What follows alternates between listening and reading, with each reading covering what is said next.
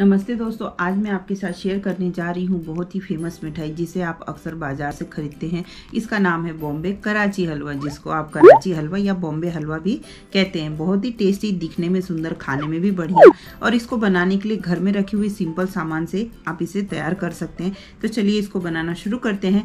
Video पसंद आए तो वीडियो को ज़्यादा से ज़्यादा शेयर कीजिए लाइक कीजिए कमेंट कीजिए और चैनल पर नए हैं तो प्लीज़ प्लीज़ प्लीज़ चैनल को सब्सक्राइब ज़रूर कीजिए और बेलाइकन ज़रूर प्रेस कीजिए। तो चलिए इस बॉम्बे हलवा को बनाना शुरू करते हैं। इसको बनाने के लिए देखिए, यहाँ पे मैंने एक बाउल ले लिया है। और आप यहाँ पे ना मेज़रमेंट के लिए एक कटोरी या एक कप सेट कर लीजिए। तो मैंने यहाँ पे एक कप कॉर्नफ्लोर का आटा ले लिया है। तो मेज़रमेंट बराबर होना चाहिए तो ये हलवा बहुत ही टेस्टी बनता है। तो देखिए, एक कप कॉर्नफ्लोर लिया है। अब इसी के साथ ना मैं इसमें दो कप पानी डालूँगी, लेकिन दोनों कप एक साथ नहीं डालूँगी। एक कप पानी लिया है पहले, और थोड़ा थोड़ा पानी डालेंगे और कॉर्नफ्लोर को घोलते जाएँगे। इसलिए, क्योंकि कॉर्नफ्लोर जो है एक साथ अगर पानी आप डाल तो कॉर्नफ्लोर जम जाता है। फिर वो अच्छे से मिक्स नहीं हो पाएगा। उसमें गुठलियाँ पड़ जाएँगी। इसलिए थोड़ा थोड़ा पानी डालिए और कॉर्नफ्लोर को घोलते जाइए। तो बस ये प्रोसेस इसी तरह से करना है। इसमें दो कप मतलब एक कप कॉर्नफ्लोर पे दो कप पानी लगेगा ही आपको। तो यहाँ पे देखिए मैंने दोनों कप पानी डाल दिया है और इसका पतला सा घोल रेडी कर लिया है। तो अब ये घोल हमारा रेडी हो गया है। इसको रखेंगे साइड में।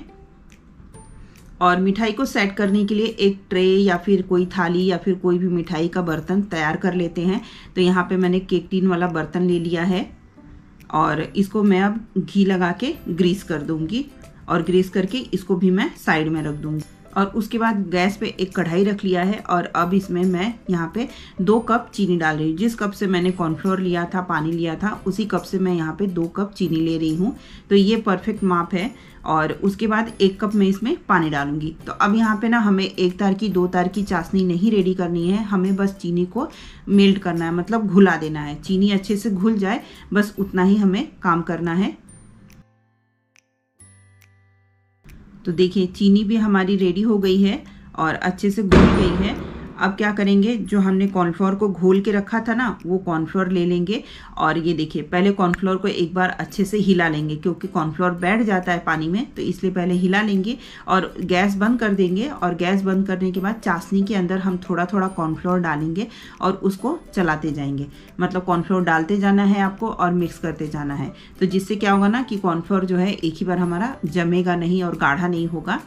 तो बीच बीच में भी पहले कॉर्नफ्लोर को हिला लीजिए और उसके बाद फिर उसको चाशनी में डालते जाइए। तो देखिए मैंने पूरा चाशनी में डाल दिया है और अब इसको हमें पकाना है लो फ्लेम पे। एकदम टाइम लेके इसको पकाना है क्योंकि इसको थोड़ा टाइम लगता है पकने में।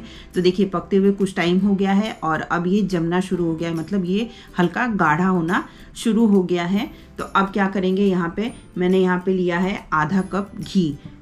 घी आप माप के हिसाब से लीजिए। तो यहाँ पे आधा कप लिया है घी, लेकिन एक साथ सारा घी नहीं डालेंगे। एक एक चम्मच घी डालेंगे और एक चम्मच घी डाल के पहले इसको घी को हम कॉर्नफ्लोर के अंदर मिक्स करेंगे। मतलब कढ़ाई में घी हमारा अच्छे से मिक्स हो जाए, उसके बाद हम इसमें दूसरा चम्मच डालेंगे। तो ये प्रोसेस भी धीरे धीरे करना है आपको। एक ही साथ सारा घी आपको नहीं डालना है। तो टोटल इसमें मैंने ना छः बड़े चम्मच घी डाले हैं। मतलब आधा कप पूरा घी इसमें लगा है। तो ये देखिए, मैंने एक चम्मच घी को डाला है और अभी तक मैं उसको मेल्ट मतलब मिक्स ही कर रही हूँ कॉर्नफ्लोर के अंदर, क्योंकि ये जल्दी मिक्स नहीं होता है, थोड़ा टाइम लेता है, पर धीरे धीरे ही मिक्स हो जाता है, अच्छे से मिक्स हो जाता है। तो अब यहाँ पे दूसरा चम्मच भी डाल दिया है और अब उसको भी हम मिक्स करेंगे। तो इसी तरह से बारी बारी से एक एक चम्मच डालते जाएँगे घी और उसको मिक्स करते जाएँगे। तो बस यही मतलब ये ऐसे ही करना है पूरा। कि एक एक चम्मच घी आप डालते जाइए और उसको मिक्स करते जाइए। इस मिठाई को बनाने में टोटल 25 से 30 मिनट लगते हैं और तब जाके ये हलवा बहुत ही टेस्टी बनता है। तो यहाँ पे देखिए मैंने आधा चम्मच ना इलायची का पाउडर डाल दिया है बीच में ही और यहाँ पे मैं एक चम्मच नींबू का रस भी डाली हूँ ताकि चाशनी का जो है क्रिस्टल नहीं जमे। चाशनी है तो मिठाई के ऊपर क्या सफ़ेद सफ़ेद जम जाएगी, इसलिए यहाँ पे मैंने एक चम्मच नींबू का रस डाला है। वो क्या मैं आपको वीडियो नहीं दिखा पा रही हूँ, क्योंकि वो वीडियो मिस हो गया है, इसलिए वो वीडियो नहीं दिखा पा रही हूँ। लेकिन आप ये अगर मिठाई बना रहे हैं तो इसमें एक चम्मच नींबू का रस ज़रूर डालिए यहाँ पर और उसके बाद देखिए, अब यहाँ पर मैंने ना एक चम्मच मस्क मेलन सीड भी डाला है, क्योंकि बॉम्बे हलवा में ये रहता ही है। आप चाहे तो यहाँ पे ड्राई फ्रूट्स भी डाल सकते हैं, पर मैं सिर्फ़ मस्क मेलन सीड ही डाली हूँ। और उसके बाद यहाँ पे आधा चम्मच मैंने यहाँ पे मीट फ़ूड कलर डाला है, जो हम जलेबी वगैरह में यूज़ करते हैं, केसरी फ़ूड कलर, मैंने वही फ़ूड कलर डाला है और डाल के अब इसको मिक्स कर लिया है। तो अब ये जमना शुरू हो गया है। तो आप देख सकते हैं कि ये पूरी तरह से अब ये जमना शुरू हो गया है और घी भी छोड़ दिया है किनारों पे। तो इसी तरह से इसको कंटिन्यू चलाते रहना है। आपको चलाना बंद नहीं करना है और अब देखिए ये कढ़ाई पूरी तरह से छोड़ने लग गया है मतलब हमारा हलवा रेडी हो गया है।